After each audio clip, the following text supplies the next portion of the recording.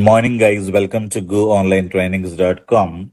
So, as part of Power BI course, we are offering all real-time assignments which came from the students only. Whenever you go for the interview, uh, the assignments are given. So, those I have collected. I'm just you know going to give you those assignments.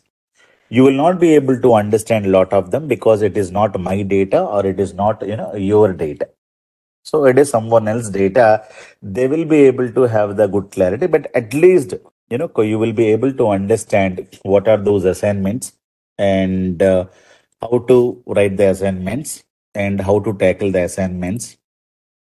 So let me show you the assignments first. Let me uh, open uh, my Power BI assignments. So totally uh, PBA assignments are up to 21 assignments are there, right? So recently one of my student posted this global you know superstore power bi challenge. So whenever the company gives you assignments they will give you one requirement document. This is a requirement document. So let me maximize this.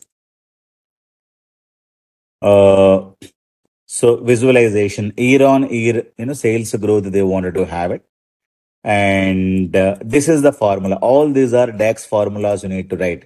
Segment wise profit, revenue by product category, top five states in terms of sales, scan for other insights based on your understanding. So they have given you some visualizations to create and they're telling this is the formula that you need to write to get the year on year sales growth. The current year value minus last year value divided by last year value into 100. So the formula, what measure you need to create, the measure formula also they're giving. But you need to understand this formula, create a measure and try to implement this measure in one of the visualization. When the measure is ready, you can drag and drop this measure in the bar chart, column chart, pie chart somewhere right? And the customer retention rate, this metric tracks how many customers come back to your store for a second visit, right? Retention rate formula is this.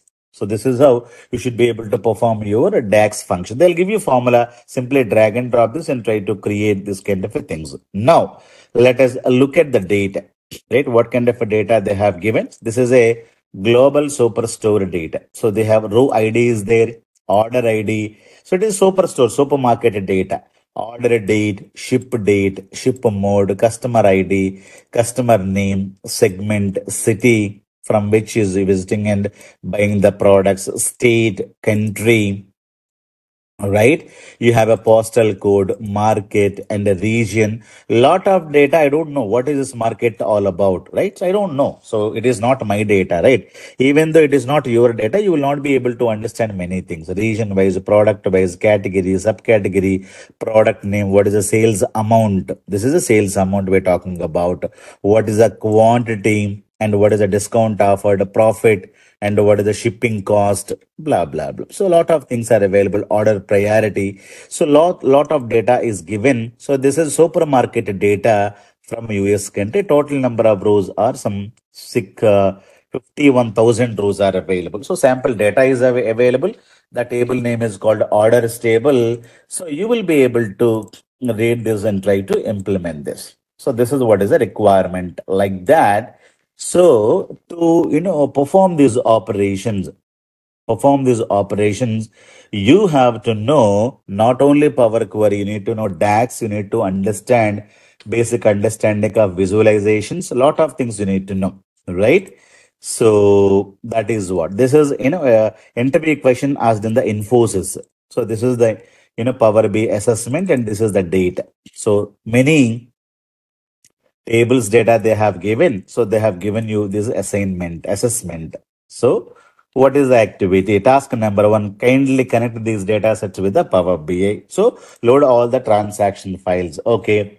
Load customer data, right? So in page one of the visualization, create the card in a multi-row card visualization and display all these things. Task number four, create a custom tooltip on any visualization which will depict last top three products. You know, task number five, create a funnel chart using subcategory and profit. 2017 data, you must use it. So task number six, create a, a view uh, below DAX. Convert customer's name to all caps. You need to write the DAX expression for this. Find out week name wise order date, Monday, Tuesday, blah, blah, blah. You need to create a DAX expression for that. Right? Find out the sales value from the existing data. Task number seven, please create your own visualization from the data set provided and share the insights. So this is the requirement document. Like that, you will be able to get the data and requirement document will be given. So all these are so HR analysis data. So they would have given the you know requirement somewhere here, and uh, like insurance data also we have, right? So then we have uh, you know Oracle by invoice data then reports you will be able to create and submit. So a lot of things are available. Act Internet Fiber, right? How many customers have taken, uh, you know, internet connectivities and you know, JD and the visualizations. What all you need to do. So they have clearly mentioned in the PDF document, right? So you need to understand this. This is for the one of the company, cloud computing Azure a lot of things are available, but we wanted to only do the data related to Power BI. Like that, you have large amount of data here. You will be able to uh, see the data files, master data, primary sales data, primary sales data, you know, or 17 data, 18 data, and this is the requirement. When you double click on this, you will be able to get lot of requirements and study and understand first. And if you're able to do, if you're understanding you're able to do something and do it.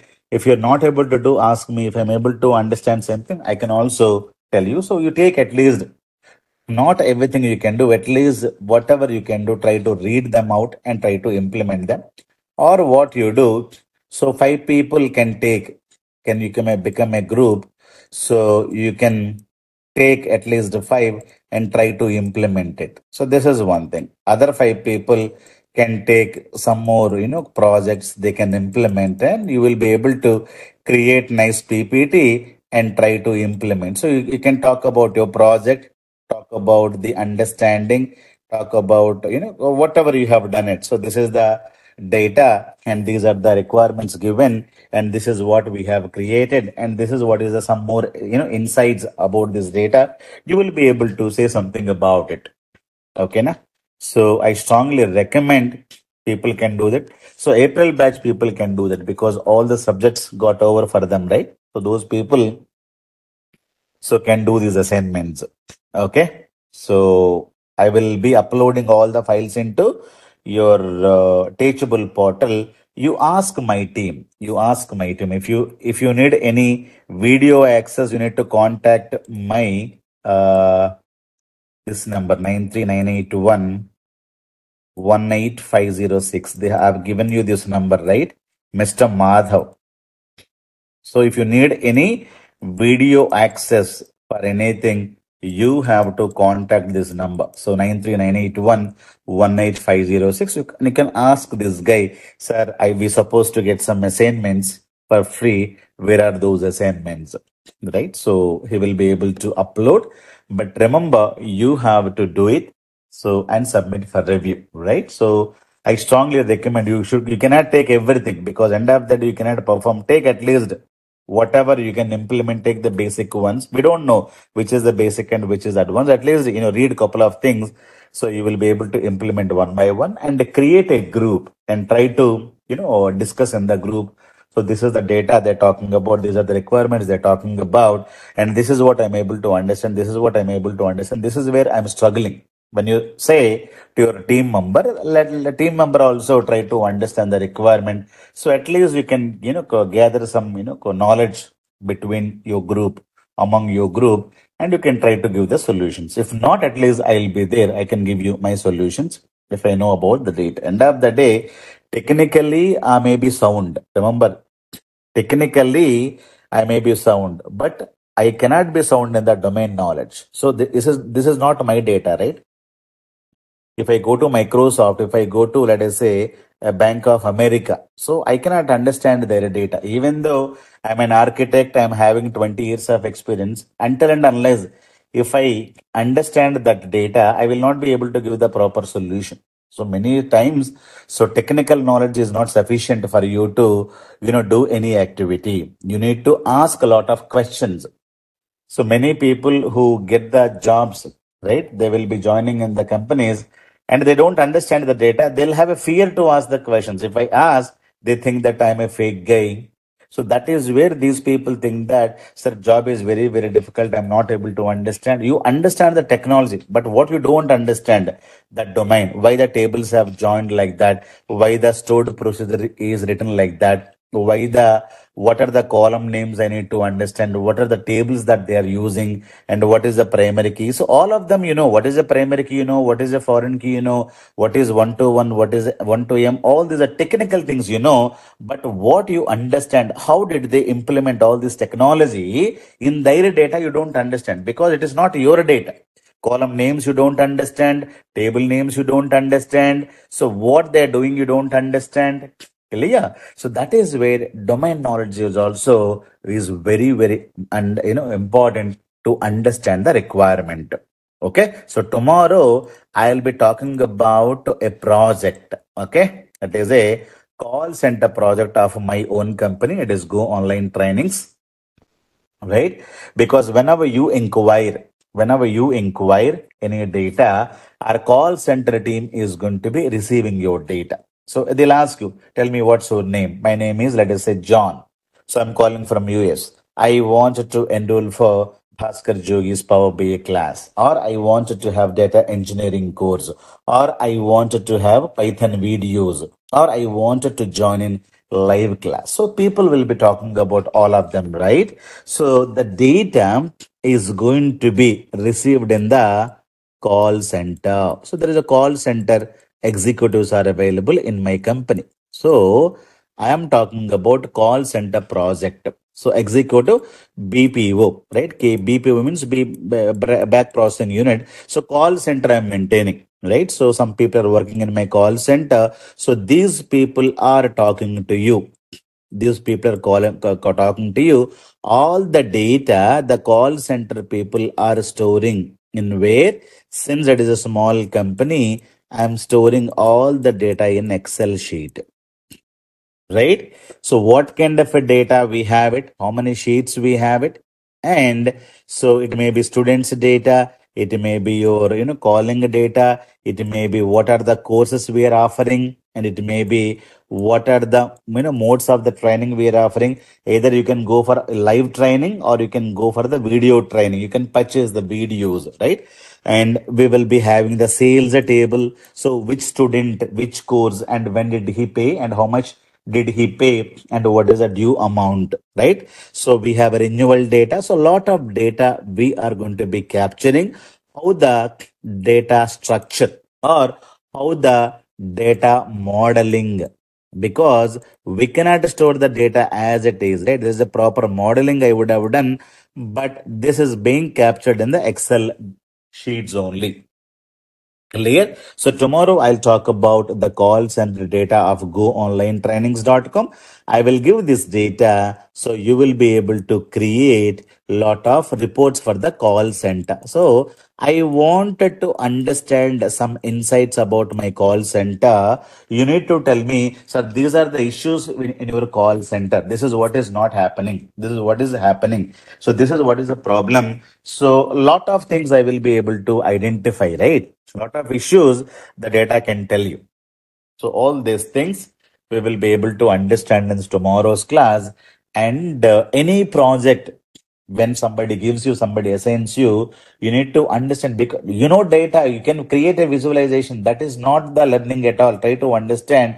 You need to implement your understanding in my data. So you need to understand my domain knowledge. What is a call center all about? You need to know. Right. So that is what is important. Tomorrow we'll talk about call center dashboard and call center report. You can, you know, tell this in the interview. So what is that the current project? You can tell that I'm currently working with a call center data and uh, for one educational institution, right? You can say Byju's or you can say Upgrad or you can say Manipal University or, or you can say some company.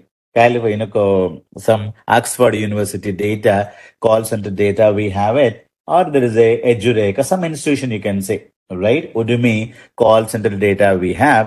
So we're able to create these many dashboard. These are the issues we were able to find out in the data and we cleanse the data. We applied these, these many transformation. We have done the data modeling and uh, we have uh, created a lot of DAX formulas. And these many reports we have created. And these are the benefits uh, you know co- the institution itself got. So when we when we were telling these are the you know co- data points. And we, when we tell the story then the company says that yes this is where the issues are in the company.